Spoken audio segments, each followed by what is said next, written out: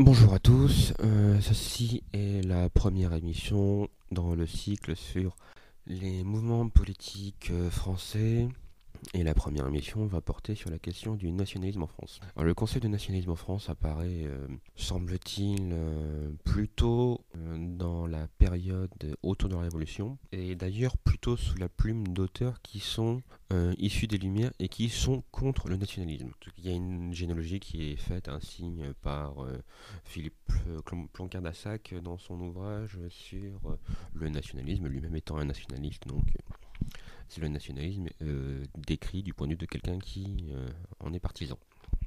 On peut quand même trouver euh, déjà chez un penseur comme Rousseau l'idée d'une méfiance envers les philosophes qui ont beaucoup d'amour pour les Tatars et qui ne se préoccupent pas du sort de leurs voisins.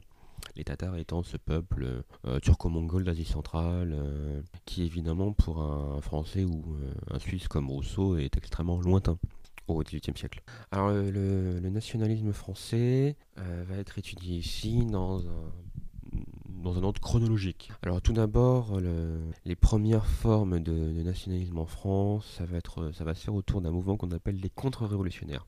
Alors je ne vais pas parler de mouvements euh, contre-révolutionnaires, c'est-à-dire euh, opposés à la révolution dans une perspective d'action. On peut penser à la chouannerie évidemment la chouannerie qui a une dimension euh, populaire, mais euh, très peu intellectuelle. On va se concentrer ici sur les mouvements intellectuels, donc les contre-révolutionnaires. Il y a trois noms essentiellement à retenir. Alors, les de la question disent qu'il y a beaucoup de différences entre ces trois auteurs, mais on va pas s'y attarder aujourd'hui. Euh, ces trois noms, c'est Joseph de Maistre, Louis de Bonald et Antoine de Rivarol. Antoine de Rivarol, celui qui a donné, dont le nom a été repris pour le journal National Rivarol, justement.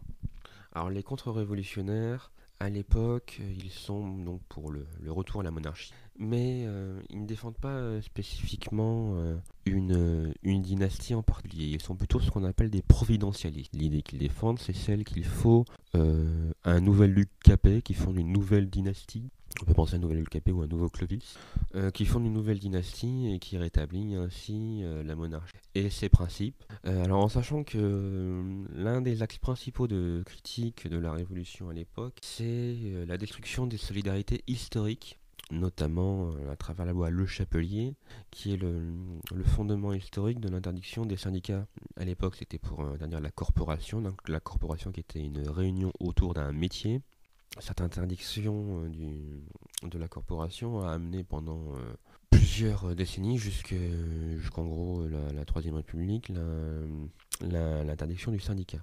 Euh, il y a ensuite avec la, Révolution, l'abolition de la paroisse, de la province et de la monarchie protectrice des corporations et stabilisatrice du prix des matières premières contre la spéculation, notamment sur le prix du blé, défendu par euh, les ancêtres des libéraux qu'à l'époque on appelait les physiocrates. Savoir qu'il y a eu une expérience euh, inspirée par les physiocrates de libéralisation du prix du blé sous Louis XV, euh, ce qui a amené à une spéculation absolument euh, abominable, puisqu'il y avait euh, ce qu'on appelait les accapareurs qui, stockaient le grain, créaient des mini-famines pour pouvoir le vendre plus cher. C'est quelque chose qui est décrit par Balzac dans Eugénie Grandet, puisque le père d'Eugénie Grandet spécule sur le prix du blé et fait sa fortune comme ça. Alors, de nos jours, cette tendance poétique est disparue, elle peut se retrouver plus ou moins de manière... Euh, on est dans le témoignage culturel plus que dans l'action politique. D'autant que, euh, bon là c'est une opinion personnelle, mais euh, l'éventualité d'un retour de la monarchie en France est extrêmement lointain, puisqu'il n'y a pas de prétendant sérieux, donc il est difficile d'imaginer demain le retour de la monarchie. Alors, euh, une particularité du mouvement euh, contre-révolutionnaire, euh, c'est sa dimension quelque peu mystique, notamment ésotérique et initiatique, puisqu'on peut voir que des figures comme Joseph de Maistre ou Louis de Bonal sont, sont marquées par la, la franc-maçonnerie, ce qui peut surprendre puisque en général, les mouvements nationalistes, surtout les mouvements nationalistes français, sont très anti-maçons, mais euh, il y a toujours existé de manière euh, résiduelle une sorte de d'ésotérisme de droite radicale, d'ésotérisme de droite radicale dont l'un des spécialistes en France est Christian Boucher, dont il sera question un petit peu plus tard. Alors par contre, il y a eu un second mouvement qui a été extrêmement structurant dans la droite nationale française, euh, c'est l'Action française, qui est aussi un mouvement monarchiste, mais pas de la même façon. En fait, au début, ça se structure autour de Maurice Pujol et de Henri Vaugeois, qui sont plutôt des, républicains de gauche. Hein. On n'est pas purement sur du, du monarchisme d'entrée et qui sont avant tout des critiques de la Troisième République euh, en tant que traîtresse à ses promesses, ces promesses étant euh, liberté, égalité, fraternité. À l'époque, on est sous la Troisième République, on est dans les années 1890, et il y a un certain nombre de scandales financiers, de scandales politiques qui font que euh, il y a une méfiance qui va, qui va s'instaurer envers envers une classe politique qui est perçue républicaine, qui est perçue comme traîtresse. Alors là-dessus, il y a un jeune intellectuel, Charles Maurras, qui lui vient du milieu euh, du félibrige autour de Frédéric Mistral, euh, qui a été proche aussi à un moment d'Alphonse Daudet, si je ne m'abuse, et qui arrive avec un livre qui s'appelle Enquête sur la monarchie, euh, qui affirme lui que la, défense de la, France passe, des intérêts de la France passe par ce qu'il a construit, et ce qu'il a construit c'est 43. Oui, de Clovis à Louis XVI, dans en 40. Alors c'est un mouvement qui est, alors eux ne disent pas régionaliste, ils parlent plutôt de localisme, mais on est quand même dans une démarche euh, décentralisatrice, notamment parce que la République jacobine est euh, centralisatrice. Alors il y a, beaucoup de formules chez, chez qui sont assez, assez percutantes, euh, notamment une c'est l'autorité en haut, les libertés en bas. Euh, ou alors euh, la monarchie c'est l'anarchie plus 1. Euh, dans l'idée du nationalisme intégral défendu par Charles Maurras, alors nationalisme intégral ça veut pas dire que c'est le nationalisme qui va le plus loin, qui est le plus bourrin ou quoi que ce soit. Non, nationalisme intégral c'est-à-dire c'est un nationalisme complet qui prend le parti de défendre le plus possible les intérêts des, citoyens. Donc on a donc cette idée d'une anarchie surmontée par un roi qui organise tout enfin non, pas qui tout, mais qui chapeaute euh, justement les libertés. Alors avant la guerre de 14, c'est un mouvement qui est très porté sur la question sociale, parce que Charles Maurras a été le seul, euh, le seul homme dit de droite à avoir euh, critiqué la répression des grèves, notamment par, par Clémenceau, la répression des grèves des ouvriers, des, des mineurs. Alors c'est pour ça que durant un certain temps, ils vont entretenir des relations les monarchistes vont tenir des, relations avec des, ce qu'on appelle les syndicalistes révolutionnaires. Alors, le syndicalisme révolutionnaire, petit aparté, le syndicalisme révolutionnaire, c'est un courant du socialisme qui, existe en France et qui est, euh, qui est un peu la troisième chose après euh, le marxisme et l'anarchisme. La particularité du syndicalisme révolutionnaire étant euh, de ne pas croire à un sens de l'histoire. Il, il, rejette la vision marxiste du, sens de l'histoire. Ils sont plutôt sur une idée nietzschéenne de vision cyclique et ils rejettent les visions téléologiques de l'histoire. Le syndicalisme révolutionnaire, c'est quelque chose qui vient de la pensée de Georges Sorel.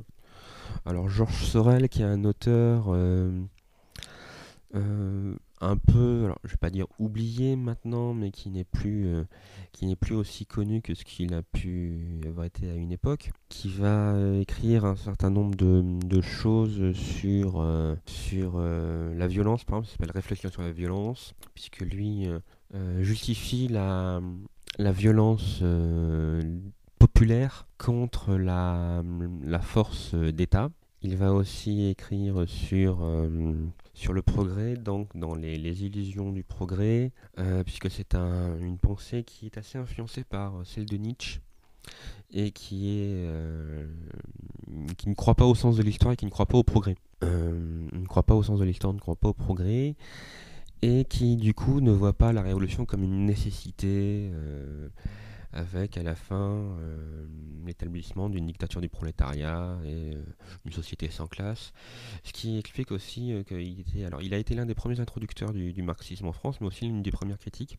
Dans son ouvrage La décomposition du marxisme, il a aussi, écrit la décomposition du marxisme donc, il a aussi écrit sur des éléments d'économie j'ai plus le titre en tête, mais enfin bon, il y a une, introduction à l'économie euh, par, euh, par Georges Sorel. Alors Georges Sorel, il y a un disciple qui s'appelle Edouard Berthe. Alors Edouard Berthe qui va écrire des livres comme euh, Les méfaits des intellectuels, qui essaye de faire une synthèse entre la pensée de Maurras et celle de Sorel autour du schéma Apollon Dionysos. Apollon étant Charles Maurras, le grand classique, et, et Dionysos étant Sorel, le romantique puisque, notamment par l'influence allemande. On retrouve d'ailleurs, il y a eu assez récemment une, biographie d'Edouard Berthe par Alain de Benoît, qui s'appelle Édouard Berthe ou le socialisme héroïque, Sorel, Maurras, Lénine, qui s'explique notamment parce que parce que Edouard Berthe euh, va avoir euh, pendant un temps un intérêt pour la, révolution bolchevique, même s'il va en être très vite un critique, notamment autour de la question de la violence et de, l'excès d'autorité, et qu'après une brouille avec Georges Valois, dont je vais parler juste après, il se rapproche de Henri Barbus, l'auteur du Feu, le Feu, donc, euh, qui est un roman sur son expérience en tant que soldat durant, la, guerre de 14. Et il va se rapprocher aussi de la revue Clarté et euh, revenir ainsi au syndicalisme révolutionnaire euh, par déception de l'expérience soviétique, mais dès 1900, assez rapidement après la, après la Révolution. L'autre pilier de, cette rencontre entre les, les, monarchistes et les, les syndicalistes révolutionnaires, c'est Georges Valois. Lui est un un spécialiste de l'économie issu de l'action française, en sachant qu'il y en avait un autre, c'était Jacques Bainville. Alors Jacques Bainville, c'était l'historien euh, officiel de l'action française.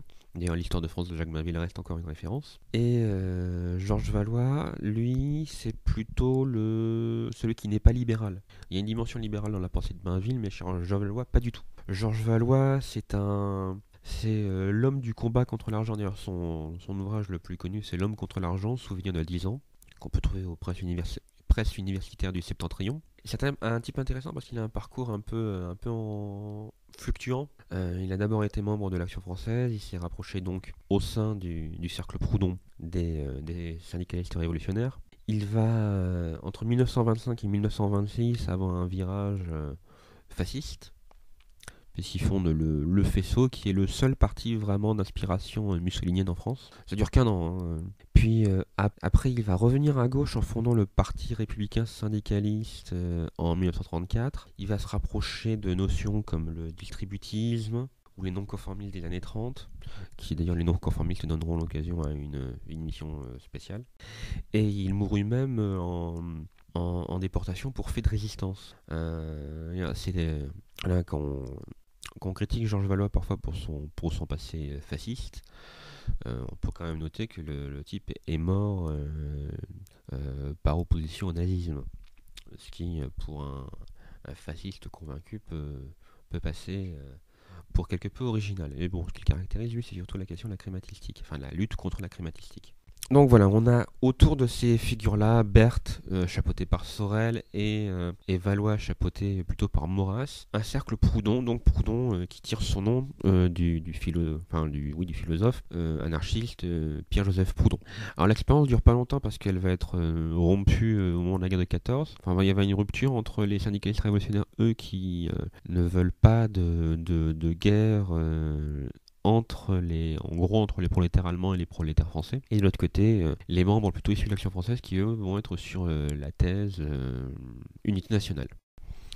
Alors, un dernier courant qui est important dans l'avant-guerre en ce qui concerne le, nationalisme, c'est la synarchie.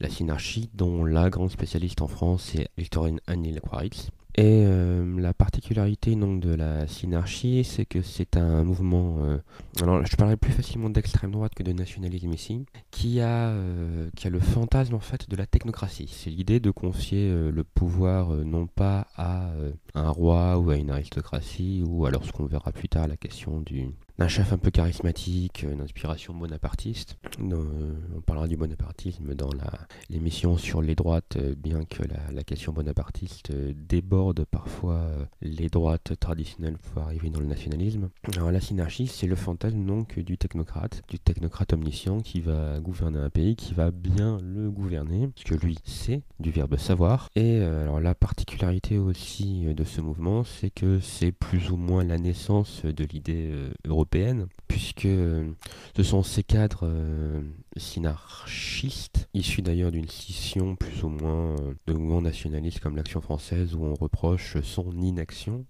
qui vont donc abandonner le royalisme pour arriver à la technocratie, qui vont être parfaitement intégrés au régime de Vichy et qui après vont être récupérés notamment via le centrisme, via le MRP dont on va parler dans une émission postérieure. Le MRP dont le surnom est la machine à ramasser des pétainistes et euh, ces cadres synarchistes, eux, euh, vont être les pères de l'Union Européenne. On prend par exemple euh, Robert Schuman qui a été un ministre de Pétain. C'est bizarrement un mouvement d'extrême droite assez peu connu en France alors que c'est lui qui a totalement triomphé avec la construction européenne. Quelque part ce sont les plus discrets les moins flamboyants qui ont, qui ont réussi. Alors sur ce, euh, on finit sur cette euh, première partie euh, de l'histoire du, nationalisme français. La, suite arrivera dans quelques jours et commencera donc avec la, rupture qu'est la Seconde Guerre mondiale et va se prolonger jusqu'à aujourd'hui. En vous souhaitant d'avoir appris des choses et en vous disant à bientôt.